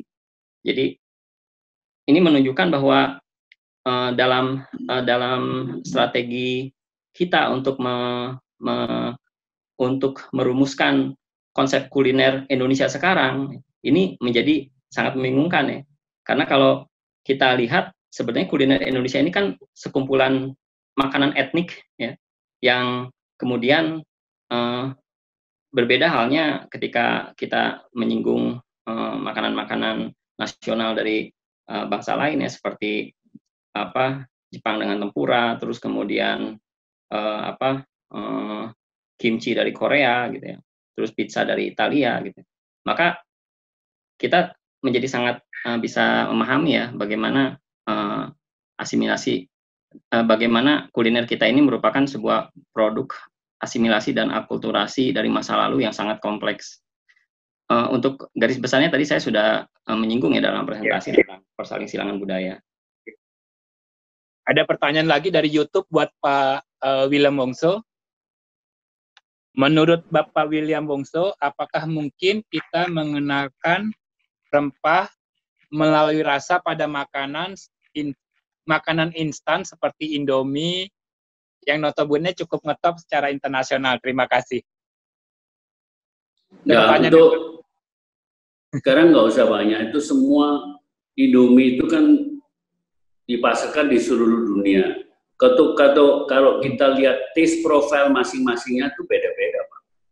Porsinya juga beda-beda. Akan disesuaikan dengan taste lokal, nggak bisa general. Hanya hanya misalnya contohnya kalau sampai beberapa merek dari dari Korea itu yang cabenya pedesnya koyok mercon itu karena yeah. pengaruh K-pop. Kalau di tempat lain seperti contohnya di Nigeria itu porsinya porsi satu porsi uh, Indomie itu lebih besar daripada porsi ukuran jumbo. Karena orang Nigeria itu pagi siang malam makannya Indomie. Nah itu soal taste di situ pasti disesuaikan hmm. secara secara lokal. Karena lebih mudah memperkenalkan taste lokal daripada memperkenalkan taste dari luar untuk konsumsinya. Itu. Karena orang Nigeria nggak tahu sama sekali soal Indonesia. Lain seperti Korea, anak-anak kita gila, banyak yang nonton sinetronnya Korea sampai bisa baca Korea padahal nggak pernah ke Korea. Jadi mitos-mitos itu eh, berlaku. Jadi nggak kalau hmm. apa itu Eh, Indofood juga pernah bikin Nusantara, cita rasa Nusantara dari 35 provinsi itu juga prinsipnya sama. Hmm. Bahwa uh, mereka juga mencari loyalitas, kebanggaan loh kalau ini rasa-rasa Makassar, misalnya orang Makassar yang bangga. Oke. Saya sampaikan lagi pertanyaan dari eh, peserta, ini kayaknya bisa dua-duanya nih, dan ini pertanyaan menarik. Saya mau bertanya, katanya, tadi sempat menyinggung bahwa rempah-rempah juga dimanfaatkan untuk kesehatan seksual ataupun seksualitas. Bagaimana cerita lengkapnya? Apakah ini muncul dari bangsa Eropa, Tionghoa, lain sebagainya? Terima kasih. Nah, ini pertanyaan seru. E, bisa kedua-duanya, Bung Padli, bagaimana tuh untuk seksualitas karena yeah. di setiap makanan biasanya ada disebut kandungan ini lain sebagainya, kira-kira. Iya, pertama eh, bahan seperti rempah-rempah ini uh, ketika kita mempersepsikan hanya untuk uh, kebutuhan bahan memasak atau makan uh, bahan uh, kita uh, bahan konsumsi untuk makan, sebetulnya pada mulanya lebih ke uh, sifat yang uh, sifat afrodisiak atau sifat untuk hmm. meningkatkan uh, apa vitalitas, gairah seksual dan uh, hampir di berbagai uh, bangsa di dunia pada masa lalu bukan hanya uh, jangan mempersepsikan bahwa uh, ini budaya bangsa Eropa yang dibawa ke Indonesia ya ke Nusantara ya. Tapi hampir di berbagai uh, belahan uh, dunia, berbagai bangsa itu rempah-rempah ya uh, dimanfaatkan salah satunya sebagai untuk kebutuhan medis dan juga kebutuhan afrodisiak. Dan mereka uh, sangat percaya jauh sebelum uh, munculnya apa obat-obat uh, medis ya, di periode yang modern. Um, hmm. Rempah-rempah ini memiliki khasiat yang yang sangat mujarab ya untuk menyembuhkan uh, berbagai uh, jenis uh, penyakit termasuk juga meningkatkan gairah seksual. Dan ya ini cerita yang sudah banyak diteliti ya termasuk juga kalau melihat penelitian Anthony Reid Asia Tenggara dalam Kuruniaga maka di situ dia melihat bahwa uh, banyak sekali pernak-pernik uh, yang dipakai oleh bangsa-bangsa uh, di orang-orang di Asia Tenggara gitu ya untuk uh, memanfaat untuk aktivitas seksual mereka ya. Eh, salah satunya dengan mengkonsumsi uh, jamu, terus kemudian uh, minuman fermentasi ya seperti badek, terus uh, tuak, arak ya. Uh, itu sangat biasa di masa pra-Islam ya. Bahkan pada masa Islam sekalipun itu masih dimanfaatkan sebagai sebagai sexual arousal gitu untuk untuk yang memang meminati meminati aktivitas seksual mungkin ini menarik untuk di, dicoba. Hmm. Udah coba?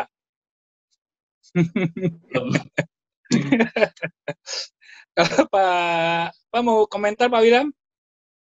Sifat-sifat ya, keyakinan. Kalau itu sangat dilute ya, karena nggak hmm. konsentrate sama lebih banyak ke diambil aromanya, aroma ya. dan pengaruh dalam dalam kondisi dengan Eh, dengan bumbu yang lain gitu dalam makanan. Jadi saya kalau tanya sama orang jarang yang kenal uh, bahwa rempah-rempah yang mana untuk afrodisiak ya cuma tahunya pasak bumi.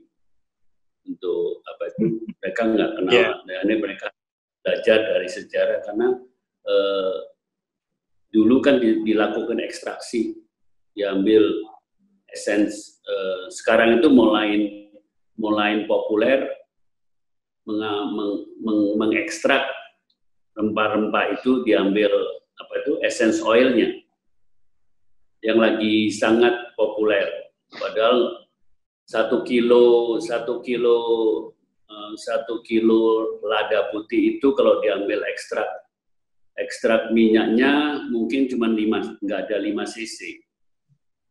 Jadi hmm. memang relatif. Terus ada pengaruh untuk medikal cengkeh. Medical, ya. sekarang masih pakai cengkeh gitu yang sudah diekstraksi cengkehnya jadi kalau saya lihat rempah di Indonesia tetap adalah pengaruh daripada akulturasi. Ada ya, beberapa makanan yang dibalikkan ke Belanda itu beberapa, misalnya sop, sop buntut, sop daging apa itu suka dikasih pala, dikasih cengkeh. Itu mungkin belajarnya dari dari orang Belanda. Hmm. Di, uh, di Brandebonen, di Manado hmm. apa belajarnya juga dari Belanda. Selat Solo di Solo itu juga warisan dari Belanda. Ini saya mau tanya nih Pak ke Pak William nyambung. Jadi buku Pak William judulnya The Flavor of Indonesia, rasa atau cita rasa Indonesia ya. Eh, saya singkat aja mau tanya, apa sih ciri khas cita rasa Indonesianya itu loh Pak? Bisa dijelaskan cita gitu? Rasa ada cita rasa yang kompleks yang sangat regional, Pak. Hmm. Saya nggak bisa. Orang tuh tanya gini, what is Indonesian food? There is no Indonesian food. Hmm. Yang ada adalah regional, regional cooking. Dan regional cooking dibagi lagi dengan sub region dan smaller village dan sebagainya. Dan itu hmm. tiap tempat itu mempunyai kearifan masing-masing sesuai dengan kalau sekarang contohnya gini, Kenapa sih ada satu desa, saya lupa yang mana itu, bumbu rendangnya cuma tiga macam. Dari Solonya hmm. dulu nggak pernah dapat yang lain. Bahan lain-lainnya aja carinya susah hmm. gitu. Hmm. Tapi akhirnya turun-turun udah kulino dengan rasa itu, ya itu jadi ciri khas di sana. Ya.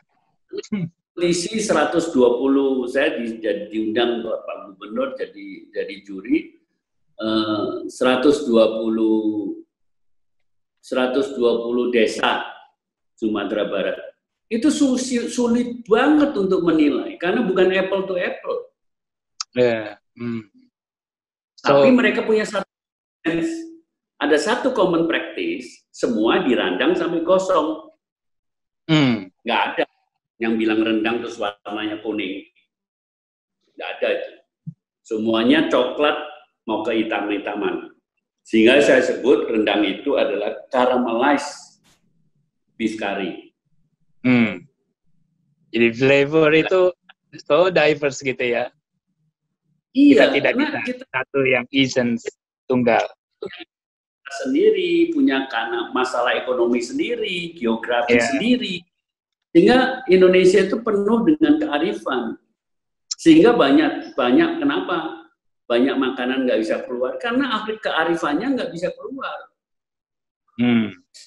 Kita kenapa kita orang Jawa nggak kenal ikan-ikan sungai di Kalimantan? Iya ya. Oke, uh, saya ke Bung Padli.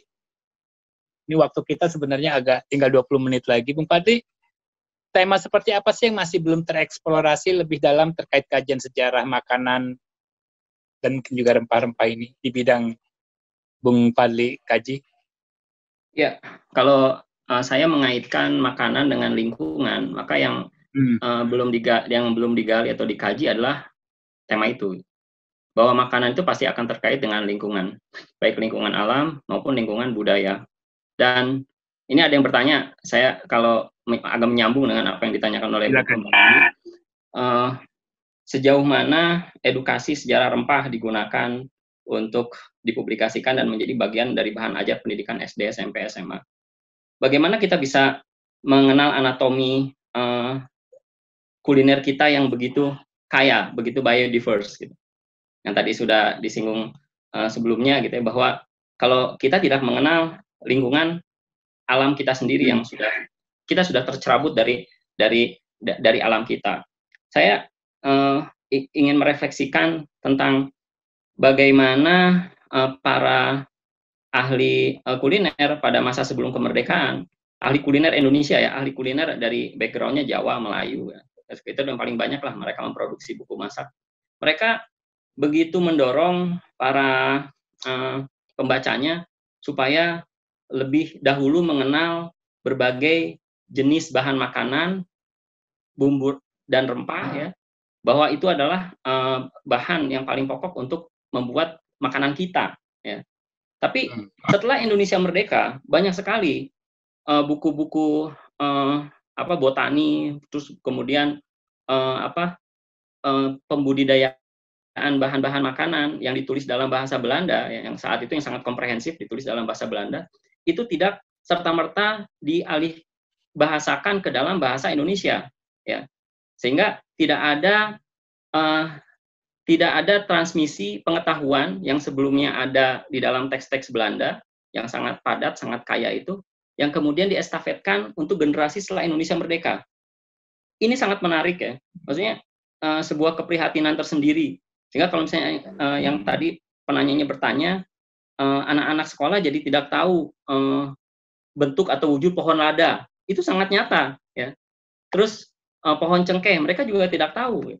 Mereka lebih uh, lebih suka atau lebih memilih yang instan ya, tanpa melihat wujudnya seperti apa. Sebetulnya ini yang menjadi sangat uh, vital untuk pengetahuan kuliner sebuah bangsa. Ya, ini yang hmm. mungkin membuat repot uh, Pak William Mongso, ya, para ahli, para para, para gastronom yang me, melihat bahwa uh, bahwa masyarakat Indonesia sebagai uh, konsumen ini lebih memilih bumbu instan ketimbang datang ke pasar terus atau kemudian membudidayakan pohon-pohon uh, apa tanaman-tanaman rempah sendiri di pekarangan rumah yang sangat mungkin untuk dibudidayakan misalnya jahe saja seperti itu. Hmm. Uh, hal itu tidak uh, tidak tidak tidak terjadi itu dalam dalam praktek tradisi kuliner kita saat ini gitu. Barangkali itu ya yang yang bisa menjawab pertanyaan penanya tadi apa hmm. untuk juga menjawab pertanyaan Bang Andi ya terkait okay. terputusnya pengetahuan uh, gastronomi atau kuliner kita dari masa kolonial dan setelah masa kemerdekaan ya padahal sangat banyak sekali kalau uh, saya uh, dalam kajian uh, sekarang saya gitu ya yang sedang saya lakukan buku-buku uh, botani uh, termasuk di, di dalamnya pengetahuan bahan-bahan uh, makanan seperti yang ditulis oleh Heine terus kemudian oleh Oshil gitu nyaris uh, pengetahuan itu sudah terputus dari dari dari, dari memori dan selera kolektif kita saat ini. Oke, uh, saya ke Pak William lagi nih Pak. Pak William masih bisa freeze ya? Di freeze.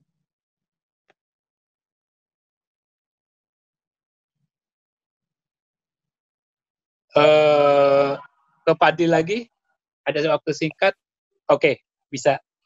Pak William, uh, saya mau tanya ke Bapak.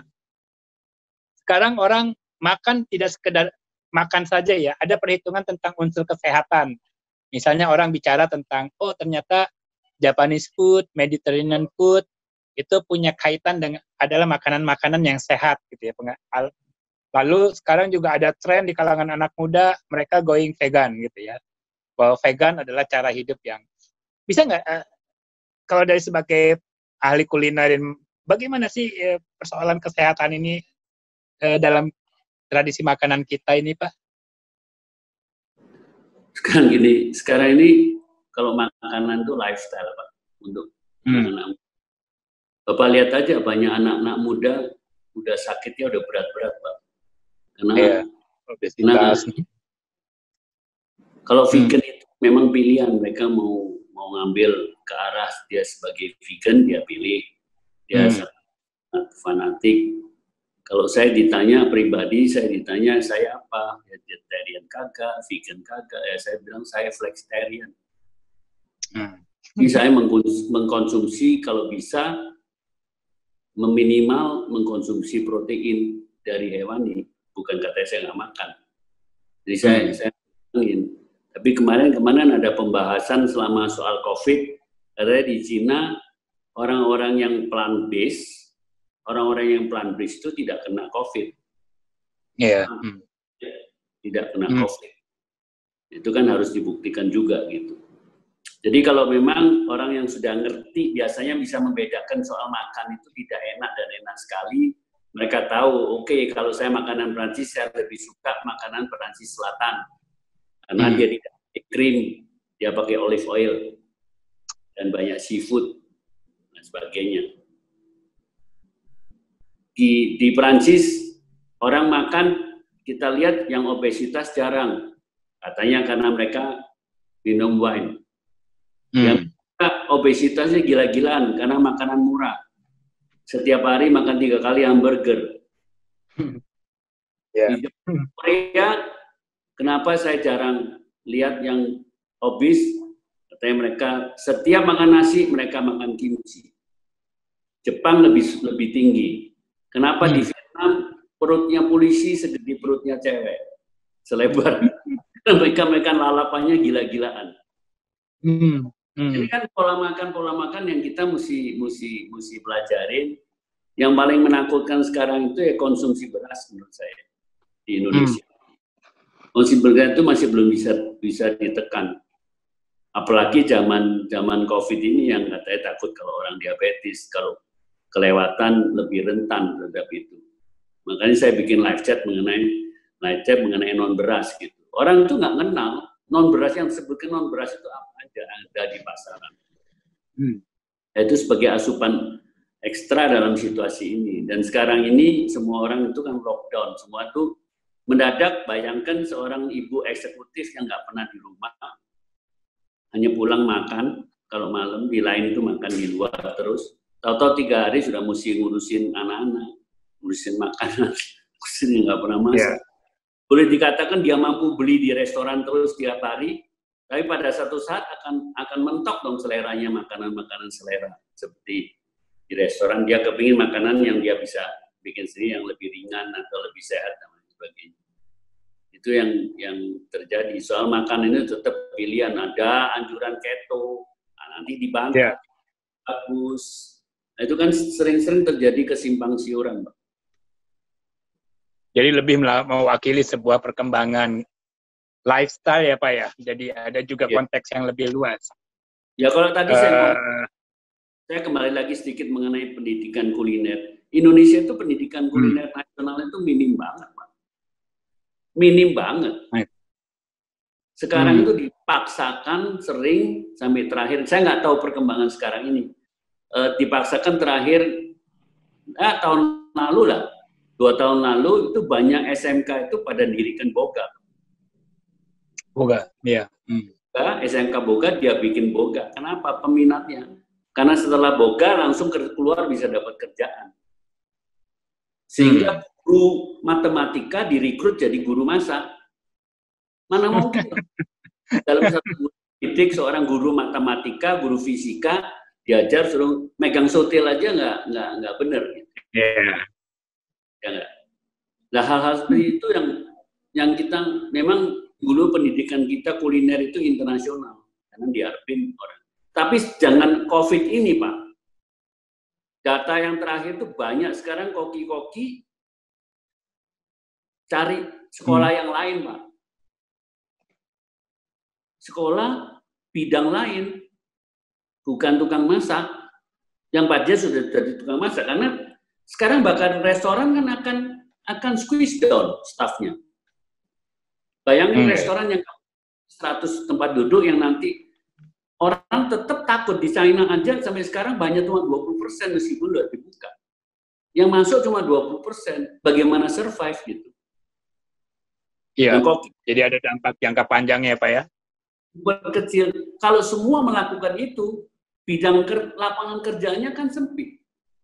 Nanti pasti timbul suatu kerjaan yang semua kerjaan di rumah, lewat ginian semua. Nah, tapi gimana caranya gitu? Oke, baik. Uh, kita sebenarnya masih banyak pertanyaan nih ini uh, dari beberapa peserta saya kira saya bahas satu aja karena kita tinggal waktu 10 menit. Uh, mau pilih yang mana ya? Gini, ada pertanyaan dari Samsul Kamil Osman. Saya berpendapat pengaruh rempah ratus dalam masakan ini banyak didominasi oleh keturunan Melayu. Kalau di Indonesia sendiri, rempah sangat populer dari masakan orang Kepulauan Sumatera, dan mereka masakan hampir sama dengan Melayu Malaysia. Penggunaan rempah ini banyak dipengaruhi oleh penggunaan pengaruh rempah ratus dari India dan kemudian juga mungkin ada pengaruhnya dari Portugis. Ini bukan pertanyaan ya, tanggapan ya. Atau mau nanggapi uh, gimana? Tadi juga ada disebut oleh Bung Fadli tentang kaitan Portugis. Ya, tapi ini menarik ya kalau uh, hmm. selera kolektif masyarakat Indonesia ini lebih ke uh, kuliner yang kiblatnya ke Melayu ya. Karena ini terkait juga dengan migrasi atau diaspora orang Melayu yang lebih lebih lebih luas, lebih lebih banyak gitu ya. Uh, menjangkau ke berbagai sudah area. Misalnya saja, uh, saya nggak tahu ya sensus berapa banyak rumah makan Minang di uh, di Pulau Jawa, bahkan di luar Jawa ya. Karena biasanya orang-orang Minang ini kalau bermigrasi, kalau tidak membuka usaha fotokopi, ya, juga membuka rumah makan Padang, ya. Dan sebetulnya ini yang yang menjadi uh, menjadi menjadi hal yang tidak pernah kita lihat ya bagaimana migrasi atau diaspora ini sangat menentukan uh, penyebaran atau penyebar luasan uh, seleranya untuk uh, untuk untuk masyarakat uh, masyarakat di luar etniknya gitu dan ya ini sudah sudah sudah terlihat lah dari contoh dari contoh uh, migrasi atau diaspora orang-orang uh, Minang yang kalau tadi pertanyaannya terkait dengan selera masyarakat kita ini lebih ke Melayu ya. Tapi kalau dibandingkan dengan restoran Jawa di Sumatera, jumlahnya ya nggak banyak. Paling Banding, yang ya. migrasi atau diaspora itu orang-orang Tegal, itu pun ke kota-kota besar di Jawa. Terus apa orang-orang Lamongan ya yang sekarang sudah menjangkau ke luar Jawa ya. Pola migrasi atau diaspora itu juga sangat mempengaruhi pembentukan selera kolektif masyarakat di mana uh, para imigran uh, para migran ini berada. Oke, baik. Sebenarnya saya masih pengen banyak menyinggung banyak hal, tapi karena waktu tinggal lima menit lagi dan kalau di Zoom ini dibatasi dengan 30 menit gitu ya, ketika dia sampai batasnya kita tiba-tiba mati. Nah itu saya hindari ya. Jadi ya makanya saya singkat saya aja. Kira, saya kira uh, di dalam waktu lima menit ini saya ingin membuat sebagai uh, bagian akhir saja dari pembicaraan kita di webinar ini. Uh, banyak hal tadi bahwa akhirnya bahwa pertukaran jalur rempah ini sebenarnya juga memberikan kita gambaran tentang dia sebuah pertukaran budaya ya, pertukaran pengetahuan dan sebagainya yang penting uh, bukan cuma satu hal yang esensial tentang apa dari hanya satu arah gitu, tapi juga ber, berbagai arah masuk berbagai pengaruh tersebut. Juga tadi betapa diverse, betapa beragamnya apa yang kita miliki dari cita rasa kita dan uh, banyak hal untuk mengenalkan Indonesia tidak perlu juga dalam artian yang uh, apa besar tapi sebentar ya gitu. Yang penting kita bisa eh, mengembangkan hal-hal yang strategis tadi Pak William juga sudah sampaikan tentang bumbu dan sebagainya. Jadi uh, saya ucapkan terima kasih kepada para peserta di dalam webinar kali ini cukup menarik dan saya mohon maaf tidak semua bisa berjumpa apa bisa menyampaikan pertanyaan-pertanyaannya Uh, jangan lupa seri ini akan berlanjut dalam eh, waktu-waktu uh, yang akan datang. Kita akan uh, sampaikan juga uh, buat yang ingin mem, apa, mengurus e sertifikatnya bisa bertemu langsung, uh, bisa berkomunikasi langsung dengan panitia. Saya kira dari saya demikian. Saya ucapkan terima kasih banyak buat dua pembicara kita kepada Pak William Wongso. Terima kasih banyak atas waktunya, luar biasa atas uh, apa eh, pandangan-pandangan yang bisa memberikan banyak insight buat teman-teman di sini juga Bung Fadli Rahman. Terima kasih sudah hadir dalam acara diskusi kali ini. Uh, saya kira saya tutup diskusinya, nanti saya kembalikan ke panitia. Tinggal ada waktu 4 menit, silakan kepada panitia. Terima kasih. Terima kasih pembicara, uh, pembicara terima kasih pada peserta baik yang di Zoom maupun yang di YouTube. Baik, Bung Asof, saya kembalikan ke Bung Asof. Oke, siap. Nah, terima kasih kepada seluruh peserta dan panelis. Untuk sertifikat nanti akan dikirimkan email lanjutan, formulir, melalui email yang didaftarkan untuk uh, mengikuti Zoom ini. Ya, kira-kira segitu saja, mari kita tutup. Baik, uh, saya bisa live ya. Oke. Okay. Okay. Ya. Salam Pak, salam William, Bung Andi, dan Mas Sof ya. Salam buat okay. para peserta semuanya.